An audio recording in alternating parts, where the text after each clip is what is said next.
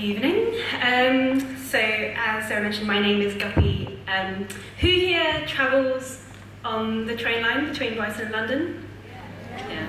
So, any of you could have been here instead of me, but I'm just going to take the opportunity to tell my story and also hopefully make you laugh a little bit. Um, so, when I arrived this evening and I got taken into the green room, um, Lloyd actually uh, mistook me for a train driver and I understand I'm wearing quite a cool blue dress and I have a pin badge which is from the Beyonce concert earlier this month. Um, but I am only a commuter, um, a forlorn commuter, and um, I wanted to tell you a little bit about, uh, yeah, my thoughts on the train system. So I moved here in September. Um, I came from Oxford. Uh, Oxford's really well serviced by both trains and a bus route. Um, so I was feeling a little bit like, oh no, I hate having to go on the train all the time because the bus is brilliant. Uh, and I just didn't really think it was going to be as bad as it has been. Um, and one of the people that I read recently who actually describes uh, the sort of the situation currently uh, is a guy called Mark Steel. He wrote a really great article in um, The Independent a few weeks ago. So I wanted to read out this because I just thought it was brilliant and hilarious and depressing all at the same time.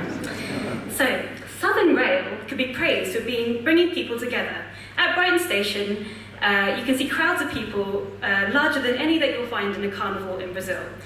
They surge around the streets chanting, not again, every proxy, beep, beep, day, they're all beep, cancelled, creating a delightful harmony that drifts across the sea.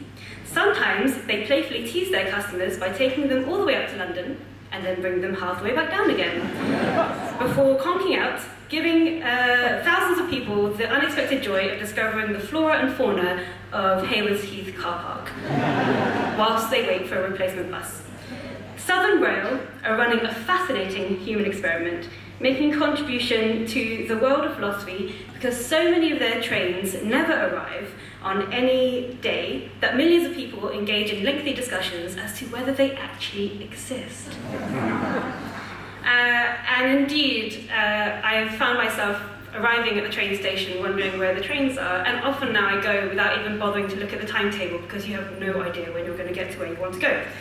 Um, and my experiences have led me to, to, situations where I've been stranded on the train for over two hours without any food or water, uh, sweltering in the heat, um, I compromised my wedding vows because I've been crushed up so closely to other people I'm sure that's not what my partner was expecting me uh, to do. And um, he's in the crowd, by the way. Uh, I have also built a reputation with my friends in London for being one of the most unreliable people ever, that my social life has just gone completely downhill. Nobody invites me out anymore because they know I'm never going to make it. But that is nothing in comparison to others. There have been people who have suffered panic attacks on the trains. They've had job losses. They have to relocate their houses to be able to meet the requirements of their jobs and their family. They've gone under financial constraints because of the extra cash that's been required for parking fees and extra fares.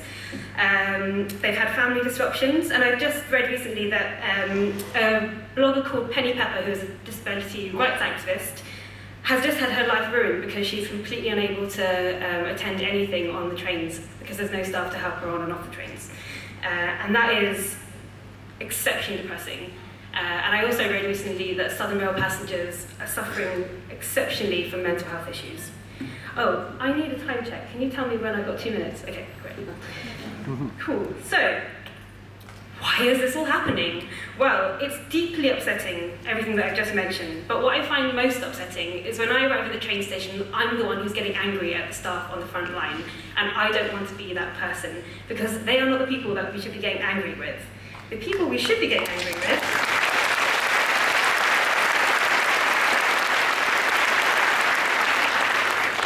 because we're getting angry with them just plays into the hands of the people that we should be getting angry with. Um, it's as if the rail workers uh, really enjoy staying on the train so much that they just delay the trains for the sake of staying on them for even longer and want us all to enjoy it too. Um, or that they feel like a day hasn't been fulfilled unless they've received some kind of abuse. That's obviously not the case. Southern Rail's parent company, Govia, is led by a mediocre white man called Mark Horton, I think that's his name.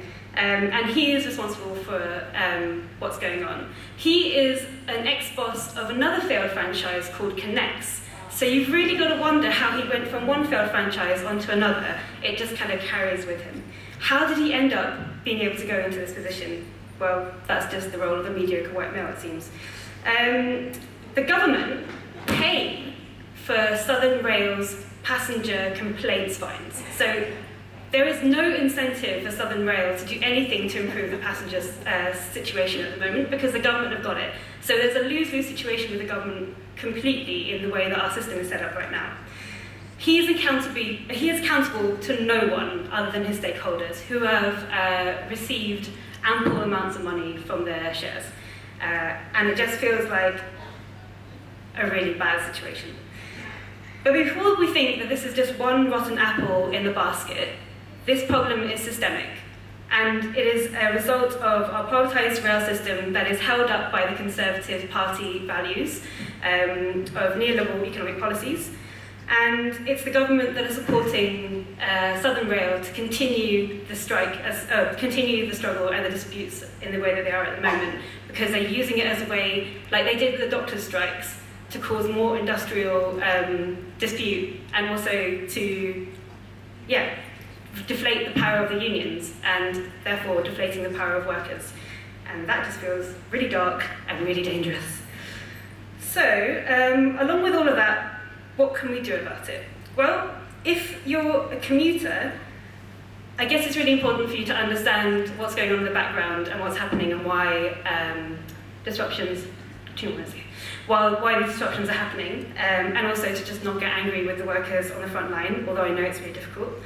If, you're, uh, if you work in the union, anyone who works in the unions, especially transport unions here, I really want to see the unions like make the most of this opportunity to really work with the passengers, engage with passengers positively, because I haven't seen it, and I'm someone who's really looking for it. So if I haven't seen it, then others wouldn't have seen it either like make the opportunity to buy adverts on the trains, tell people what's going on, be at the train stations to engage with people, and uh, use opportunities in the media to give a different narrative to what's existing at the moment. And that that is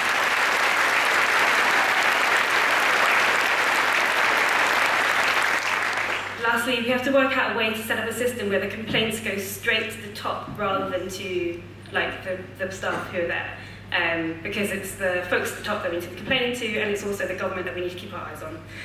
Um, and I wanted to end by saying, uh, yeah, if you do find yourself on the train, just spend a moment to engage the passenger next to you, because for me, it feels like the current situation is a really great opportunity for us to unite both left and right. You've got like liberal lefty hippies who live in Brighton commuting on the same trains as the businessman from Surrey, and it's like, when do you ever get that opportunity to be like, isn't this shit? Yes, it's shit. Let's do something together. Let's